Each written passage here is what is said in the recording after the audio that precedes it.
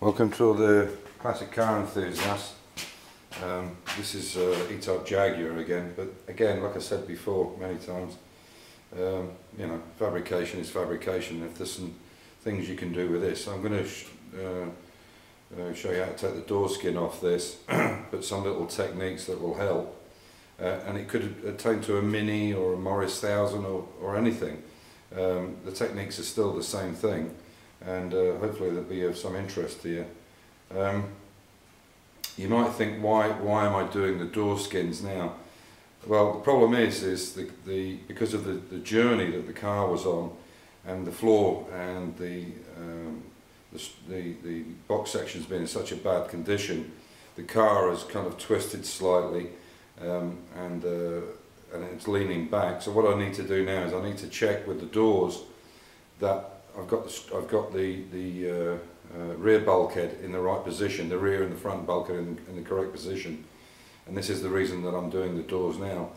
the other reason is obviously I can't put the doors on and the, the door skins on until the, the, uh, the actual frame of the door is, is sandblasted and painted. And uh, um, Amir is back on Friday, but it will start work Saturday morning and that's the reason I'm, I'm opening them now. So I'm just going to open this up and show you a couple of techniques to do it. But before I do that, um, I got an email from uh, a chap called Peter Warren I've been in touch with for quite some time now. He's doing a, a Jaguar XK 140 fixed head coupe and uh, he's just bought some panels for it and he, he made a, he mentioned to me that uh, maybe I should also mention, remember we were talking about not doing small little patches if possible because it weakens it. Um, you know, if you can go for a larger panel. Uh, I mean, you know, it's horses for courses with with repairs on on, on uh, metal work. Um, you have to do what you have to do. As it turned out, Peter has actually um, cut a part off the XK150. It's the rear quarter panel.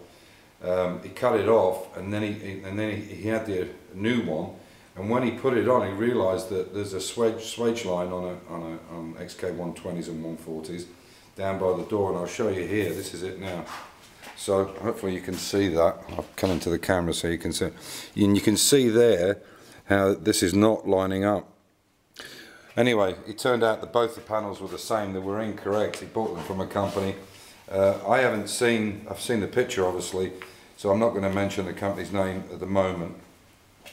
Um, but I get most of my parts from Martin Robey, and obviously this wasn't from them. and I've been very impressed with the quality of the panels. So, you know, it's up to you. If you go somewhere and you get them cheaper or more expensive or whatever, it's the it's the it's the thing that you take. It's the you know chance that you take. So, what he's ended up doing is actually uh, taking the old panel and, and rebuilding it. He, he, the majority of it was quite good and uh, but he thought because of corrosion he would take it out, but he's had to actually repair the one he had originally. So you know you have to look at these things and say, can I get the right panel? Is it going to fit correctly? Obviously, try and get the panels before you cut anything out, because if you don't do that, then then you're kind of stuck with it. You've already cut out. So try not to cut too much out before you. You have the panels, you can look at them and see exactly what's going on. So um, just two quick shout outs. One of um, Josh Smith, is, his uh, uh, subscription rate's gone right up now, which is very nice. I think he's up to 170, which is good. Um, but there's two others. Uh, I want, uh, uh, I'll only talk about the two that are actually need some more people to look in. Uh, one is George Knapp. Um, he's doing a mini and he's actually starting to build the wings up, the inner wings, but he's putting um, repair panels in, and this would be worth watching uh, because not everybody can go to the extent of putting in complete new uh, inner wing. So it's George Knapp, and the other one is Mad Mini Vlogger, uh, M-A-D-D, um, and he, he's doing bits and pieces on his Mini as well, and it's worth watching it. All of them have got something to con contribute, so it's good. Anyway, without further ado, I'll, I'll um, start taking this on and I'll show you. It's going to get a bit noisy, but I'm afraid that's the way it's going to have to be. So the first thing I'm going to do, oh, is not knock the camera over. Put the camera up properly. There we go. Sorry about that. So, get my gloves on. I've got my uh, safety glasses on, or my glasses on that are safety. So, it'll get a bit noisy, but I'll just show you what I want to do. So, the best way to do this is just take the edge off here, but not go right through. if, if you can see the actual splitting it, you've gone too far and you could actually damage the frame. So what you want to do is, is, is open it a little bit at a time. You can do that with almost heat and just a bit of, so I'll show you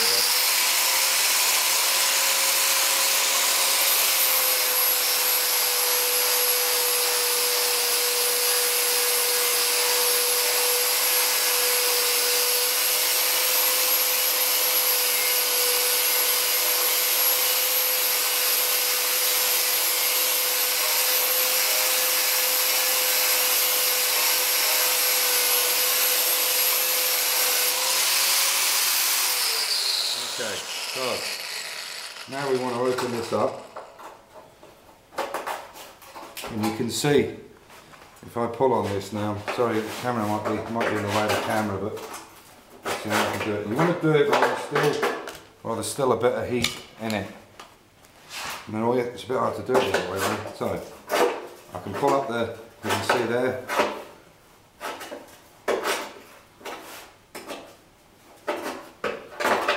Okay, put a bit more in it. Don't go too far with it.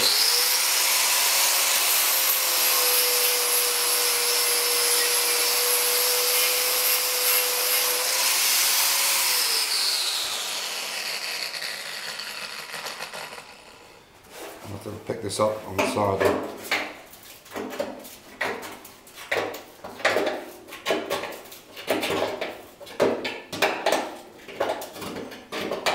See bit tight there. I'll give it a bit more.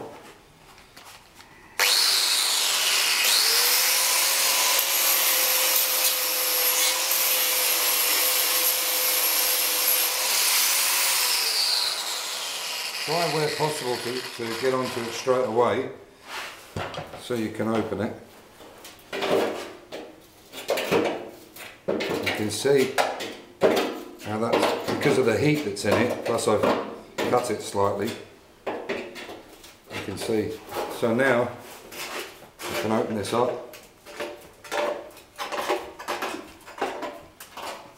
And then what I'll do is I'll pick the camera up and I'll show you exactly what I'm doing. So, so there you go. So you can see now that this is the bit that's bent. You can see it's almost through, but not quite. And I'll bring the camera and show you that. And there's obviously the inside of it. And I haven't touched the inside. If you cut, some people I've seen doing these uh, videos are saying, just keep going until you can see the layers. If you do that, you're actually going to cut the edge. And then when you go to fold it, it's going to be wrong. If you've got a slight dip in there, whatever, that's going to transpose onto this, uh, onto this uh, door skin so keep this edge as clean as you possibly can. What there is with the E-types is there's, uh, I'll show you on the other door, there's actually spot welds in four places, but I'll show you that now. But you can see that that is almost broken. If I, if I open that a little bit, you can, you can see it's almost through. And that's all you need is a bit of heat. Take some off it, of course, and then open away you go, you can open it. So I'll put that to one side for a second show you this is the original door So this is the door skin from the other door. And you can actually see what I'm talking about there. You can see how bad it is. Um, it's so badly rusted. But you can see there exactly what I'm talking about. You can see it's almost there you go. It's not right through it's almost there. But you don't want to be cutting too deep.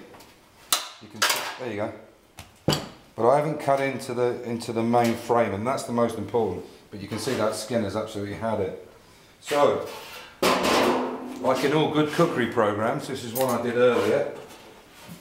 The skin is not on obviously. But you can see you can see from there I haven't actually touched any of the let's just make sure this camera's still working. Yes it is. Uh, you can see that I haven't touched it but now that needs sandblasting and you can see none of these areas are damaged whatsoever so I can easily fit that back in. So I'm going to pick up the camera and I'll show you. Ah that's it. I'm going to have to do part two I'm afraid. Sorry guys. Thanks for watching and I'll do part two in a minute. Thanks